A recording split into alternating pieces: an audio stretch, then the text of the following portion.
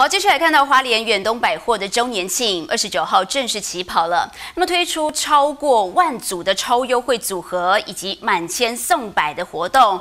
那么上午还没有开店，就吸引了不少民众来排队。尽管上半年受到了疫情的冲击，远百花莲店也推出了 VIP 的抢先预购的活动，仍然不减许多民众在周年庆的第一天来排队抢购的热情。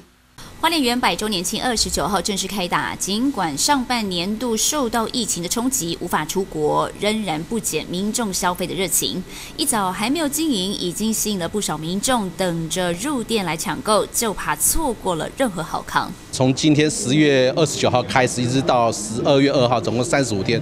这是我们原百周年庆准备了非常多东西，因为这是受一些疫情、一些国旅的影响，很多人观光客没办法出国。但是我们这次准备了很多，像我们这次的化妆品、以及化妆品，还有我们的家电，甚至我们的橄榄油，以及我们一些精品的手表，这是在我们预购期间都已经创造三十趴的一个成长的佳绩。那这是从今天开始，我们准备更多的一些优惠，包含橄榄油、一些家电，甚至无法出国的的国外的好东西，我们这次都。网罗在我们这次周年庆里头，消费者只要使用 App 的话，除了可以享受呃该有的优惠之外，我们还可以多送一些赠品以及点数。希望就是消费者能使用更更聪明的购物，他能当下购物之下马上就会使用 App 折换抵用券，甚至增加赠点数跟抵用券。希望就是在无纸化的。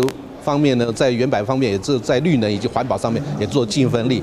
有不少民众早早做好功课，锁定特定的品牌来排队。因为就是有看到周年庆人 D N，然后路此的官方也有寄送一些那个简讯这样。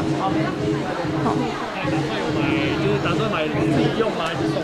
呃，自己用跟家人一起穿这样。原本也特别针对振兴券做凭纸本三千送三百的加码活动，而周年庆最夯商品进口橄榄油，今年一百五十组，不到三十分钟也全数卖完。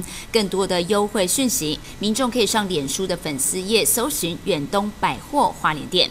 记者蒋邦彦花莲市采访报道。